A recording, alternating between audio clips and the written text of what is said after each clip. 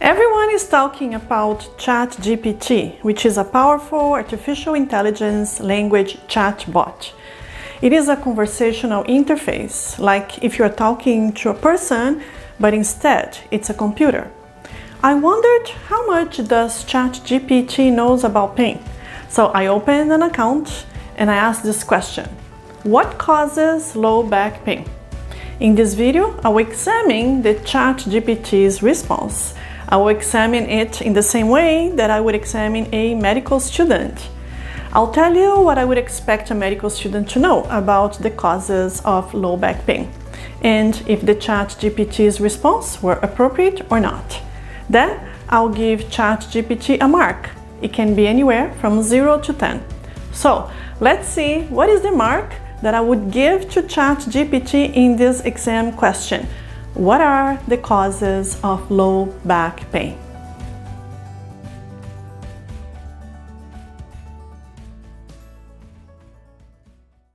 So first I open an account and then there is this line here. This was the first time that I chatted with a computer. I just typed, what causes low back pain? It took less than 5 seconds for ChatGPT to type this answer. Low back pain can have several potential causes. Here are some common factors that can contribute to low back pain.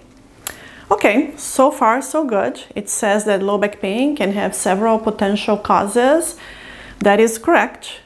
First, muscle or ligament strain. Strain in the muscles or ligament in the back due to improper lifting, sudden movement, or poor posture can lead to low back pain. Hmm, this is interesting. I would expect a medical student to know that the causes of acute low back pain are different from the causes of chronic low back pain. Acute means that the pain just started. It's a sudden and abrupt start. This is usually how acute low back pain happens. And what causes acute low back pain can be from a muscle or a ligament strain. Actually, this is the most common cause not what people think that it's a nerve or bone problem. Acute nerve problem is very rare, like a pinched nerve in the lower back. And a bone problem is also rare. For example, a bone fracture or a bone infection. Let's keep reading. Number two, herniated disc. The discs between the vertebra can bulge or rupture, causing pressure on the nearby nerves and resulting in back pain. Disc bulge is rarely a cause of acute or chronic low back pain. We know that there are a lots and lots of people, millions of people out there who have disc bulges and they don't have any back pain. Now, disc rupture is rare and it may cause acute problems. If it compresses the nerve root, which we call disc herniation, it usually causes pain in the leg on the side where the disc herniation is happening. But it is acute pain, and with time the disc heals, the content is reabsorbed, and the pain subsides. So, disc herniation is a rare cause of back and leg pain, and it improves with time. When the person develops chronic pain, it's not because the disc is still ruptured. It's because there are central sensitization and nociplastic changes happening in the pain system. Hmm. The ChatGPT does not know anything about central sensitization or nociplastic pain. It doesn't even mention it here in this response. Let's see the next one. Number three, degenerative disc disease. Over time, the discs between the vertebra can wear down, leading to pain and stiffness in the lower back. Mm, well, this is interesting. This could be a cause of acute or chronic pain in some cases. This is controversial because there are people who have severe DDD and do not have any pain, and others with minor DDD and severe back pain. I'll give it a point. It's an okay response. 4. Spinal stenosis. This condition involves the narrowing of the spinal canal, which can put pressure on the spinal cord and nerves, causing back pain. Well, First, spinal stenosis does not cause back pain. It compresses the nerves that go to the legs and it causes leg pain, especially when the person starts walking. When the person sits, they don't have any pain. It's a chronic pain problem, not acute low back pain. So I would say, is ChatGPT talking about chronic pain here? I think ChatGPT is a bit confused. Number five, osteoarthritis. The breakdown of cartilage in the joints of the spine can cause pain and stiffness in the lower back. Yes, osteoarthritis can lead to damage in the joints. They are called the facet joints. If the person has OA or any other type of inflammatory arthritis like ankylosing spondylitis, they may have flare-ups of pain in the joints of their lower back area.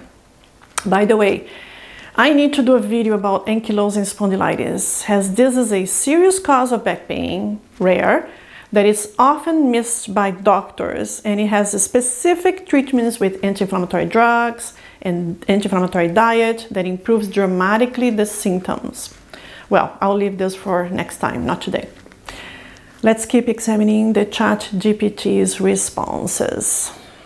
Number six, scoliosis. Mm, abnormal curvature of the spine can lead to back pain, especially if the curve becomes severe. No, no, no. Scoliosis is rarely a case of low back pain. Scoliosis is a chronic problem and most people do not have back pain. When back pain happens in scoliosis, you have to find another cause. Is it a nerve pinch, a muscle strain, stress, anxiety, depression, fears? Number seven, osteoporosis. Weakening of the bones due to age or other factors can make them more prone to fractures, which can result in back pain. Oh no. First, osteoporosis is not due to age. It is more common in older adults, but it's not caused by aging. It has genetic factors and the causes are unknown, but they are related to low vitamin D levels, poor absorption of calcium in the bones, lack of physical activity, and use of certain medications like steroids. When a person has osteoporosis and has a bone fracture, yes, that is a cause of acute low back pain. But the fracture heals in a few weeks and the pain stops. So osteoporosis does not cause chronic back pain. Number eight, infections and inflammation.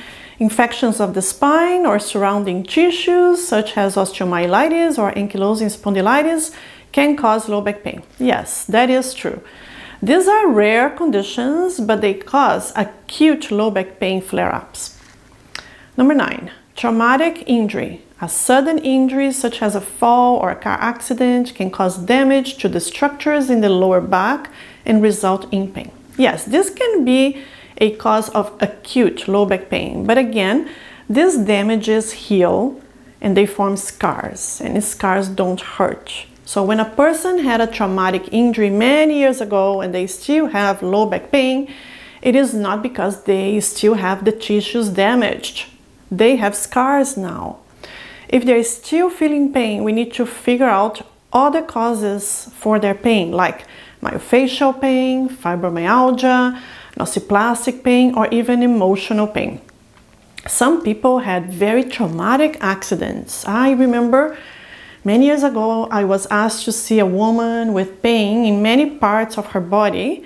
She was a mother of three children, and her pain started in a car accident many years before, where two of her children died. Everyone was trying to treat her body, trying to figure out uh, the body parts that were still damaged. I explained to her that all of her body parts had healed nicely she was left with an emotional pain, which was very real and debilitating, but much more difficult to manage or eliminate. What else does ChatGPT tells me? 10. Other factors. Certain lifestyle factors such as obesity, sedentary behavior, smoking poor physical fitness can increase the risk of developing low back pain. Oh, um, those are true for factors that increase the risk of developing low back pain, but I didn't ask ChatGPT to tell me factors that increase the risk of developing low back pain, did I? No. So why is it giving me this answer? There are lots of factors that increase the risk of developing low back pain. And by giving me this short list is not right because it gives the false impression that these are the only factors. We know that emotions, beliefs, attitudes, expectations, fears are a big factor in the risk of developing chronic pain, not only low back pain. Where are these factors in the ChatGPT's answers? It seems that ChatGPT is very biased towards the biomedical model of pain. We need to teach ChatGPT about the biopsychosocial model of pain. It is important to note that the specific causes of low back pain can vary from person to person, and sometimes multiple factors can contribute to the pain. If you're experiencing persistent or severe back pain, it is recommended to consult with a healthcare professional for an accurate diagnosis and appropriate treatment. Okay, this might be the best sentence that I read so far. Did ChatGPT miss anything important? Yes, I think it forgot to mention that tumor, including benign tumors or cancers, metastases, could also be a cause of low back pain. When I teach medical students to exclude serious causes of low back pain, I use the short form NIFT, neurological, inflammation, fracture, tumor infections. The ChatGPT also did not differentiate the causes of acute and chronic low back pain, which are very different. Acute low back pain, if it's not any of the NIFT, it is usually muscle strains, ligaments, a disc rupture. Chronic low back pain is usually a muscle tension, facet joint problems, central sensitization, nociplastic pain, fibromyalgia. So what would be my mark, if this was a medical school exam, I would say 5 out of 10. You need to study more ChatGPT? Well, if you like this video, give your thumbs up here and subscribe to this channel. If you like me to do more videos like this, just write here what you want me to ask ChatGPT next time. And please remember that this video is not intended to provide medical advice. It is for educational purposes only. If you have a condition that is causing pain, please talk to your doctor to get an individualized plan for you. If there is an emergency, please call an ambulance or go to the nearest emergency department. Watch my next videos here. Goodbye.